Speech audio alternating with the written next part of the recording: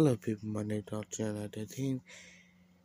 This is gonna be uh, the evolution of Harley Quinn, the animation. Facts. I seen like ten seconds of it. I said, you know what? I'm going to react to it. Two. I I know about the Doctor Who season thirteen trailer.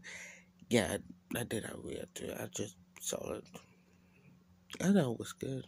I'm very excited for the season, and we got first look, couple pictures, um, ready to um, the scene on October thirty first.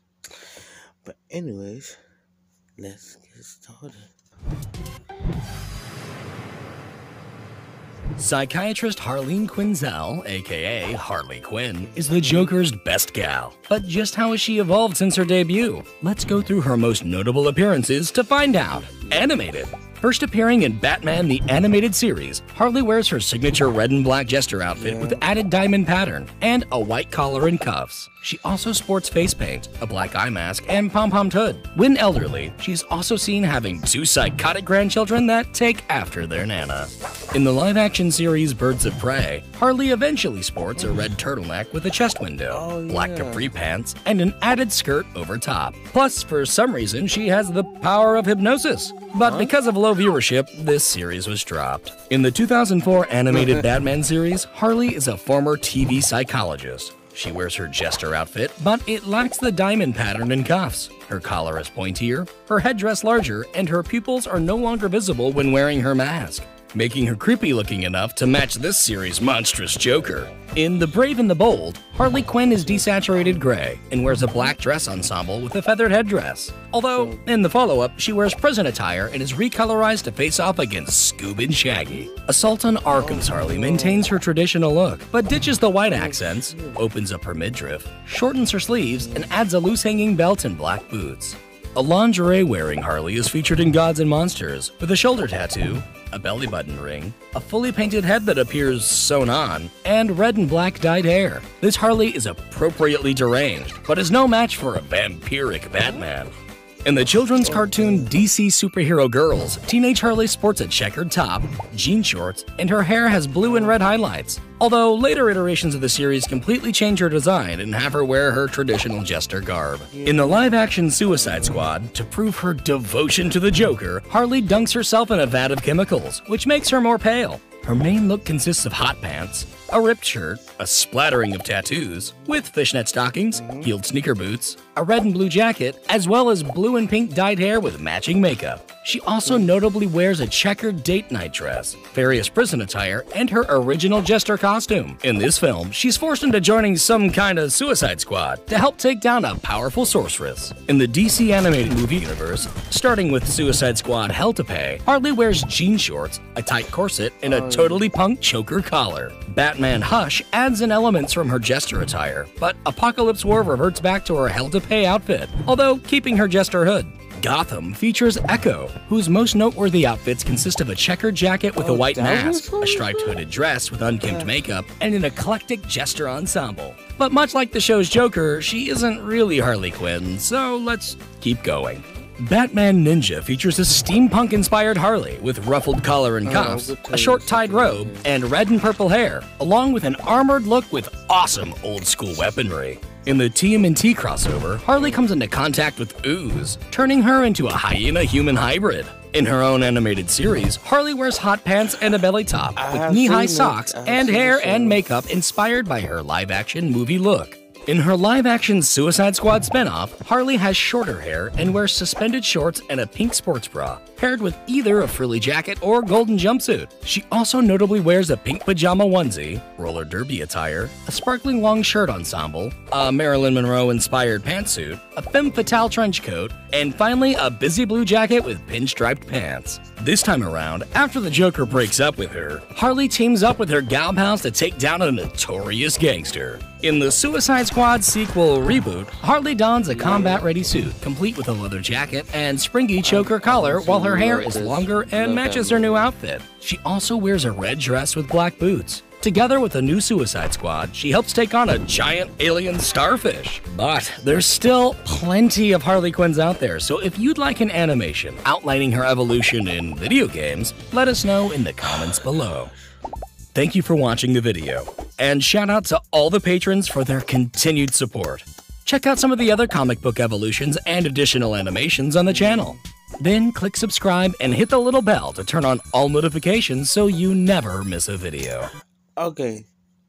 Um. One thing. Hold on. Let, let me let me fast forward. Let me fast forward. This the 2018 Gotham TV show. I didn't even know who the fuck she was until I had said that. I'm like, wait, that's Harley Quinn. because I like, um, because I remember I think was they trying to do like her backstory and I was so confused like what the hell is going on and Warner Brothers be like yeah this is not Harley Quinn I'm like if this is not Harley Quinn then why she have a relationship with the Joker? That didn't make no sense whatsoever. And the costume like I had to look deeply and look at the coat to see like like oh do we have the black it's like oh that's Harley Quinn.